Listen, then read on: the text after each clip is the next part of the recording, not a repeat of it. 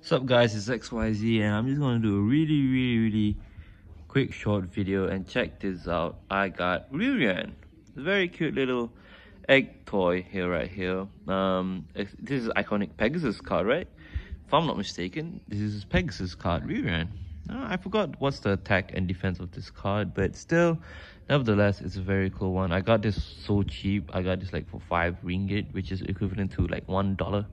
So yeah, I mean, honestly, I don't know if this is original or not. It might be fake, made in China, as you can see. And then there's uh, some Chinese writing. So yeah, so it's not from Konami, so it's most likely fake. But regardless, even if it was fake, it, just, it still looks kind of amazing in my opinion very small very cute and very nice. It can even stand no problem. So yeah i'm kind of happy that i buy it bought it because it was cheap so i'll just probably keep this in my collection. Okay guys this video is just going to be short. I just wanted to show you off my Ryu Ran monster. Okay guys that's it for this video. It's been xyz thank you for watching. Bye